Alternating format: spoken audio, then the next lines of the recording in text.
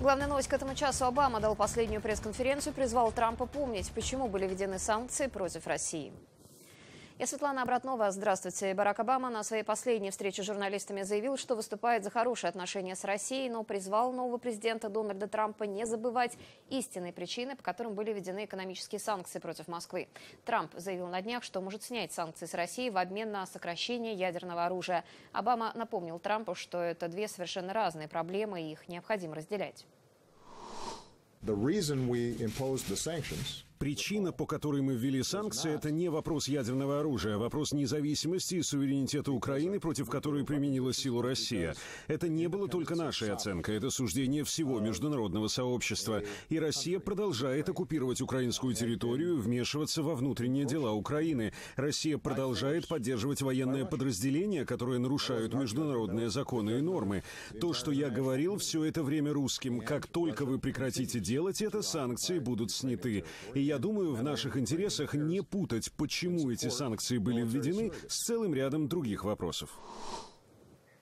Бывшего президента США Джорджа Буша-старшего перевели в палату интенсивной терапии. Несколько дней назад его госпитализировали в Хьюстоне.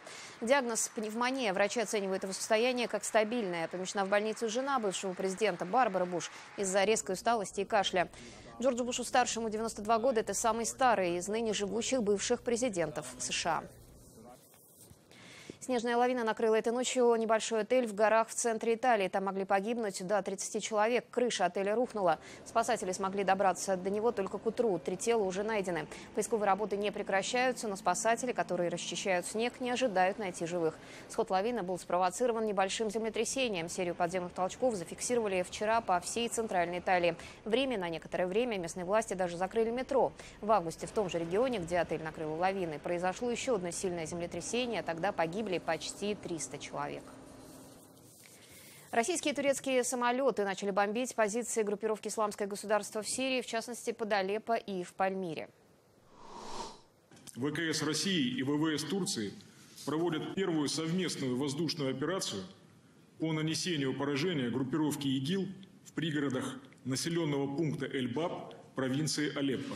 Мы получили информацию, подтверждаемую несколькими источниками – о переброске большого количества взрывчатки в район Пальмиры с целью уничтожения террористами ИГИЛ мирового исторического наследия в городе. В настоящее время в районе Пальмиры правительственные войска при поддержке ВКС России ведут наступательные действия против боевиков ИГИЛ.